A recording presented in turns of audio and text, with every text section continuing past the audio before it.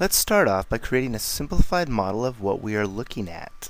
On the right side of our screen, we see Jill standing on Earth looking through her very fancy telescope.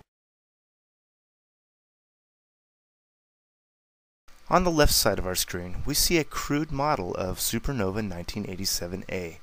In the center of this model, we see a star. Surrounding that star, we see a ring of compressed gas.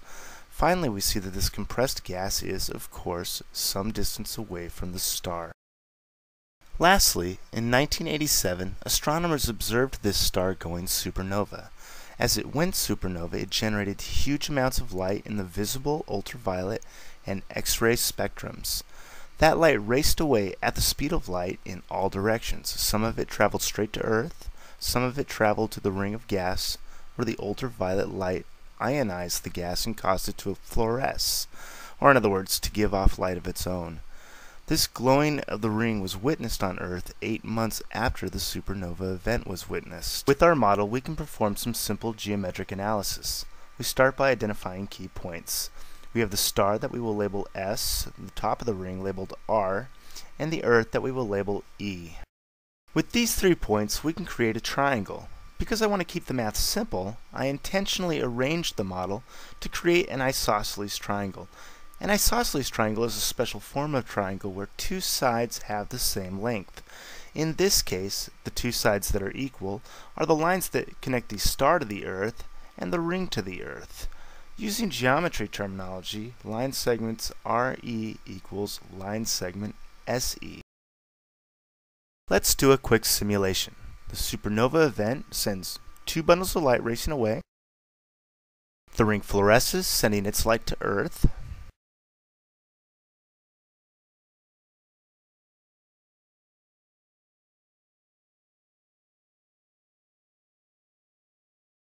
And I will pause here as the first light bundle arrives to Earth. Now the reason I want to stop here is because I want to add a fourth point to our analysis. That point is point x. Now you will note that where I placed point x is at the location of the second bundle of light when the first bundle of light is received on Earth. So why is x so important? It's not like Jill can hop into a spaceship and measure the distance.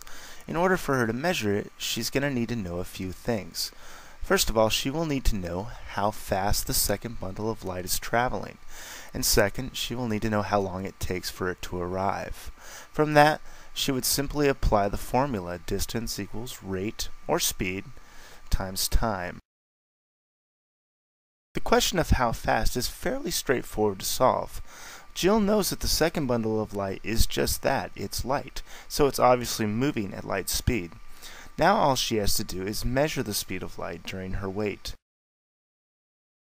Solving for time is easier still. All she needs is a stopwatch or a calendar.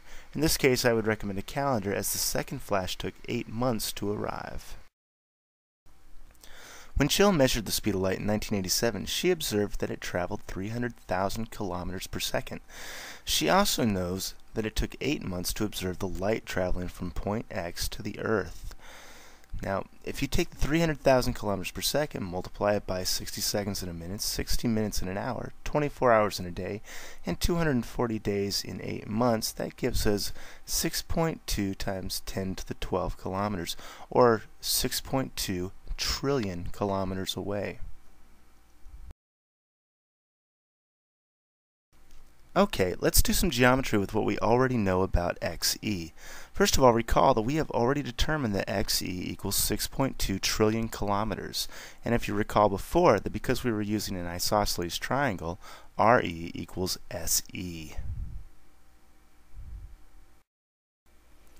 Now because the second bundle of light traveled SR and RX in the same amount of time that the first bundle of light took to travel SE, we know that the sum of those two, SR plus RX, equals SE.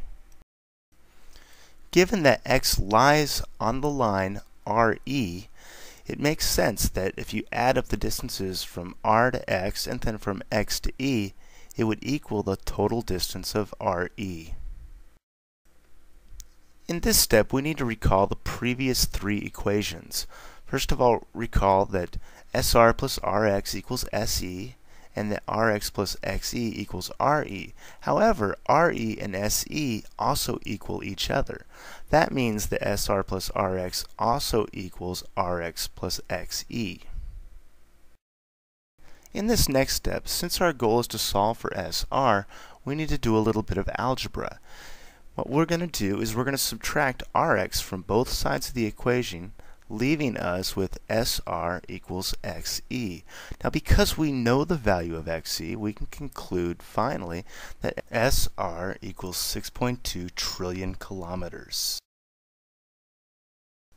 Because we know that RS must equal XE, and because we know that XE is known, this means we cannot, I repeat, cannot arbitrarily increase the size of RS.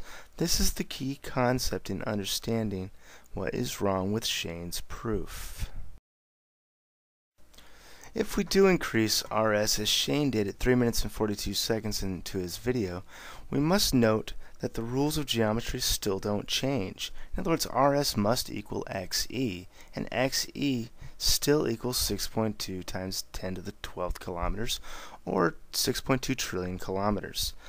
Now, the problem with this is that it ultimately results in some really funny math. I call it 1 equals 2 math. In this case, it equals 1 equals 784. Of course, 1 does not equal 2, and 1 definitely does not equal 784. It should also be noted that if we were to just change xe, that that would mean that instead of 8 months for us to see the light as it traveled from x, it would take 784 times that, or 516 years. This, of course, is not what we actually observed. This is why this is not true. I believe that the reason that Shane is having problems with this is that he believes that what he sees through the telescope is what must have happened in the past. And to a degree, he's completely right. Uh, I mean, if, if we were to show uh, an unchanging speed of light, then what he sees in the telescope should exactly be what happened in the past. So we're going to do two demonstrations, one where the speed of light doesn't change, and one where the speed of light does change. Okay, so the first thing we're going to see is the supernova flash, the rings flash, and then in our telescope we're going to see the supernova flash and the rings flash. Note that they happened at the same rate.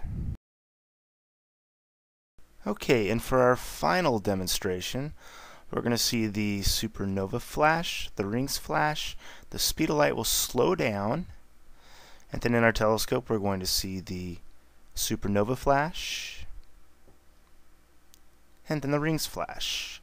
Now this is of course how it is possible to see something in your telescope that is different from the past. And of course when we change the speed of light, it changes what we see.